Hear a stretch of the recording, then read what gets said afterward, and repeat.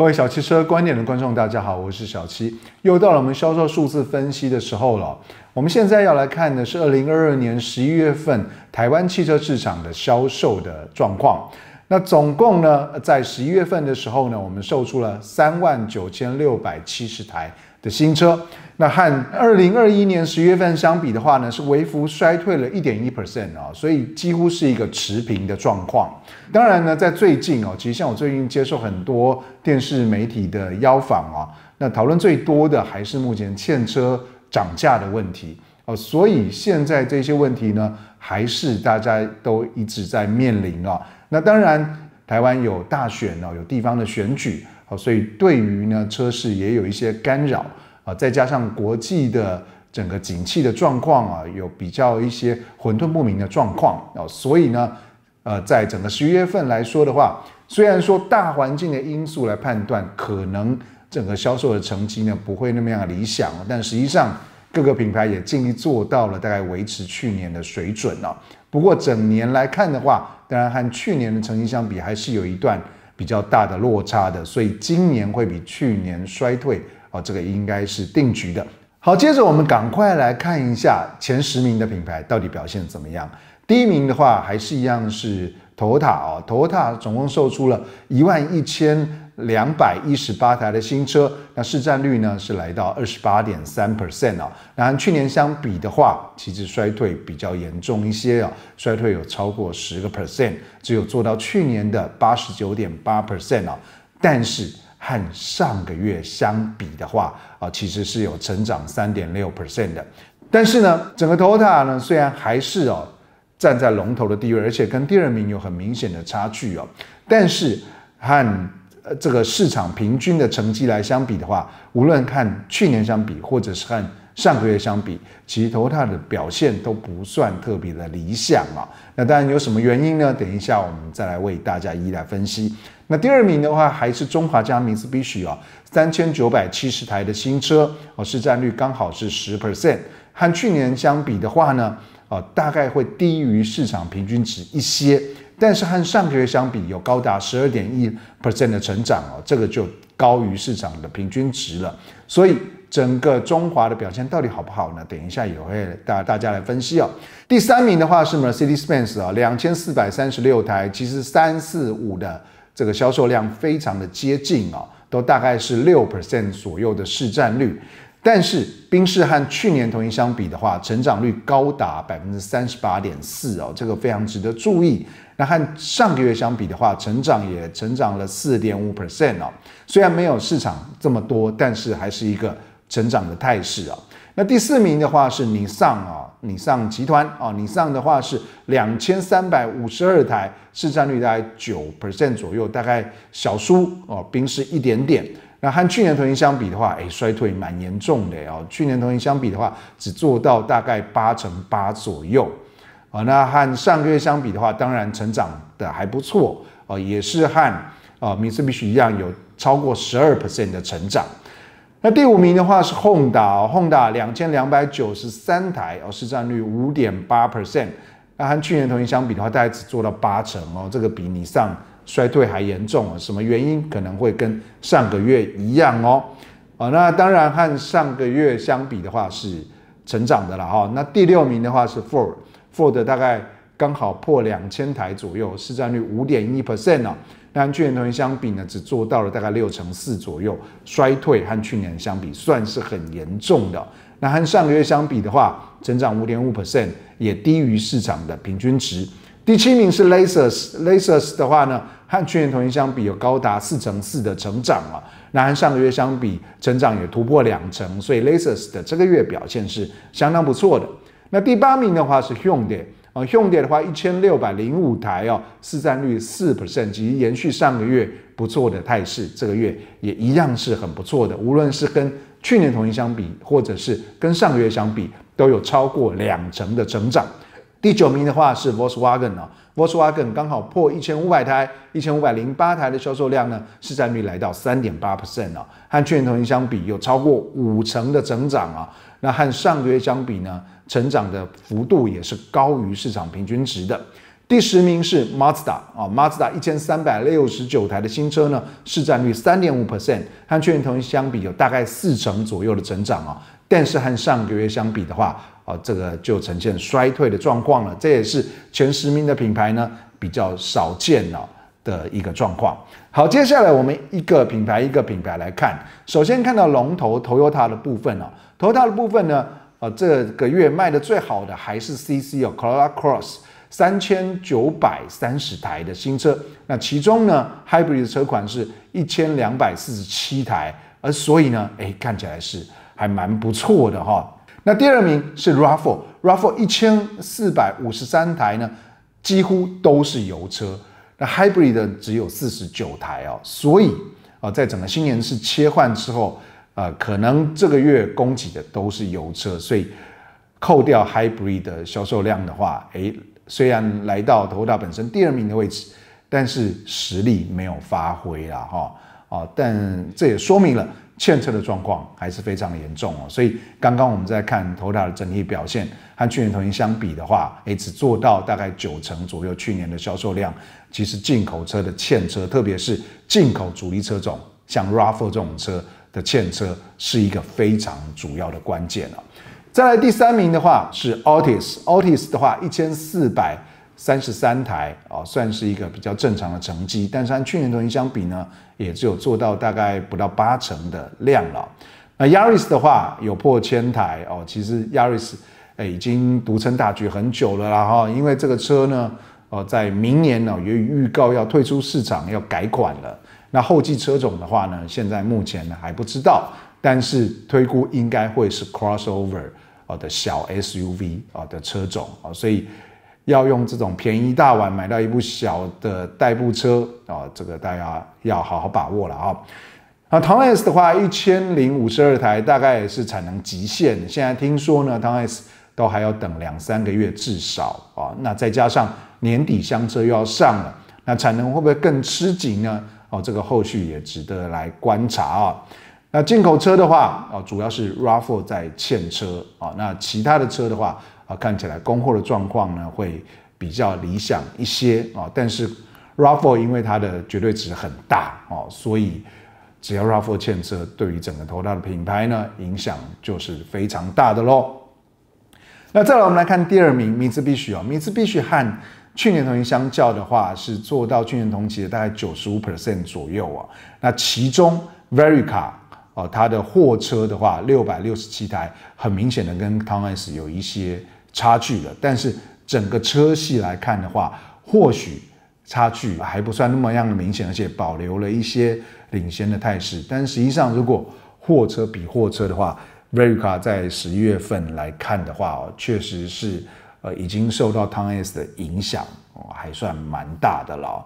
那也只做到去年大概八成多一点好的销售量。呃，所以 Verica 只要一影响呢，哦，大概就会对整个中华江 s 必须的影响是非常大的。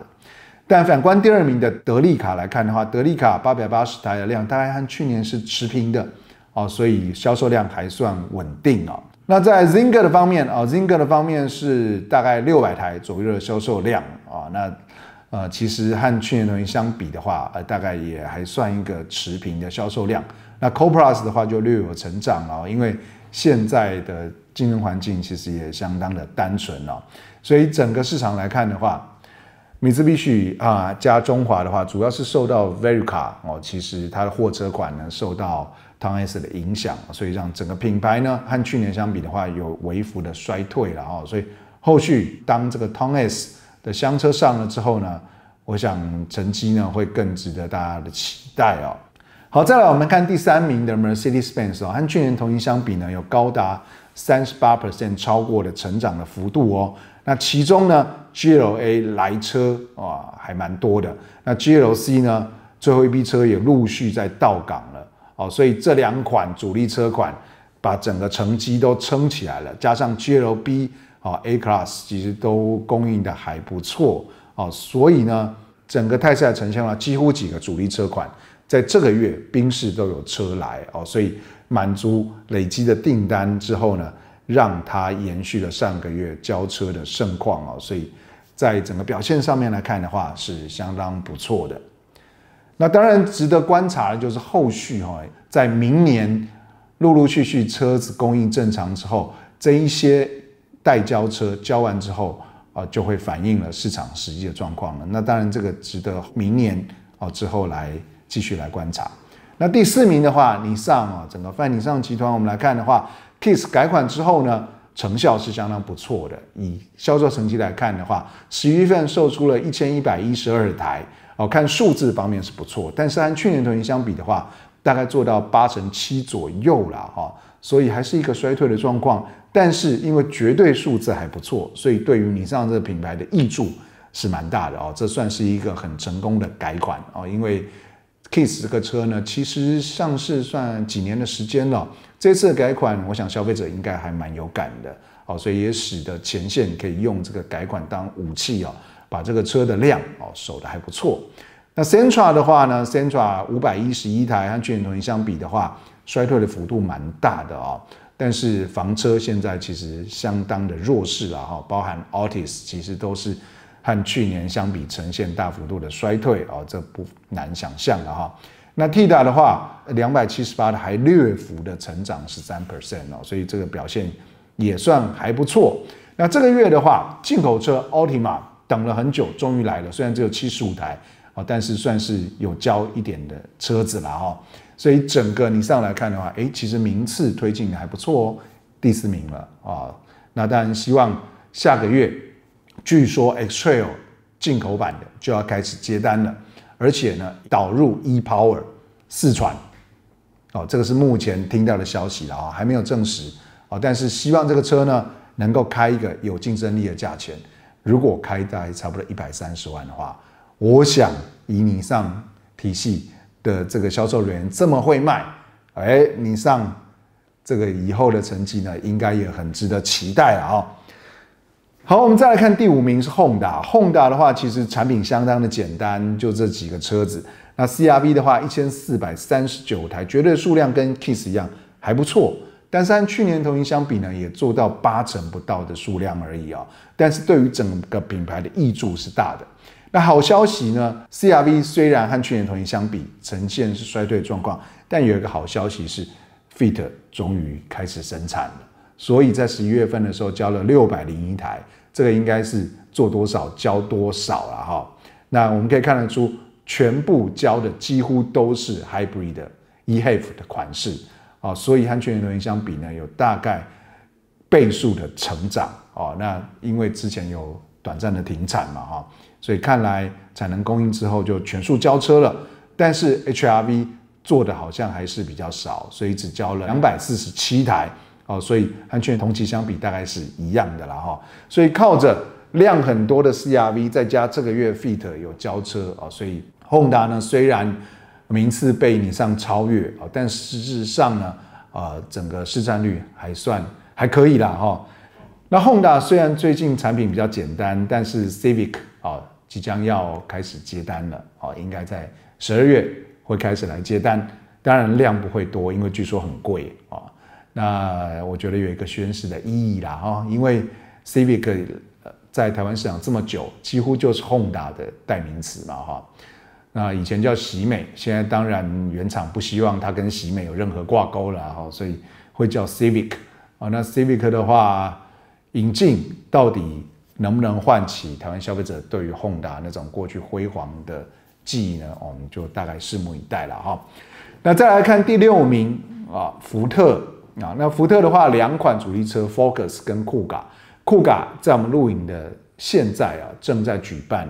二三年式的记者会，那二三年式呢，有针对几个东西做改变啊。那我等一下为各位来分享。我们先来看一下成绩哦。成绩 Focus 方面的话，一千零七十台，啊，和去年同期相比，成绩不甚理想啊，只做到去年同期的七十三点三 percent 啊。那当然这个要加油了哈。那酷咖的话，甚至只有去年同期的一半了啊。七百三十台的销售量，哦，那这一次的改款呢，到底能不能增强它的竞争力？因为这市场很竞争了哈，呃，我觉得大家可以拭目以待啊，因为无论是酷咖或者 Focus，对于整个 Ford 的市占率的影响都非常的大。那在录影的当下啊，Ford 正在做二三年式酷咖的发表会。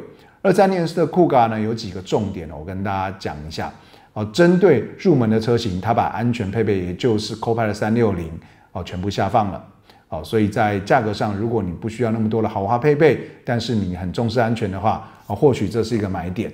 那在一八零中介的车型方面呢，啊，它也把 B N O 的音响、电动尾门啊，还有十项的电动座椅、抬头显示器啊等等这些东西，也全部都下放了。哦，所以据说了哈，因为现在我还不知道价钱，但是据说旧换新之后呢，会在百万以内，所以大概会是大概一百零几万了啊。那这个价钱的话，我觉得应该算是有诚意的哈。那再来，它推出了一个高阶的车款 Vignale 啊，Vignale 这个车呢是欧洲的豪华子品牌的型号了啊。那台湾是第二个在欧洲以外生产的市场啊，所以呢有宣示性的意义。那当然价格也有宣示性的意义，为什么？因为车是小客车认证，加上加上配备很豪华了哈，所以到底多少钱呢？压在荧幕上面啊，因为我等一下。我就要去高雄了，啊，我现在还不知道多少钱，啊，但我请编辑压在上面给大家看哈。好，Lexus 的话，这个月表现非常不错哦，因为和去年同期相比的话，有高达四成四超过的成长哈。那上个月相比也是成长的，哦，主要呢是因为 NX 终于来车了。NX 你知道代销单有多少吗？有九千多辆哎，大概接近一万辆哎，所以十一月份交出了九百三十八台。这个才是 NX 的实力嘛？你看我们讲了这么多月了，哦，所以终于 NX 快要到一千台的量了，供货呢算是比较正常一点。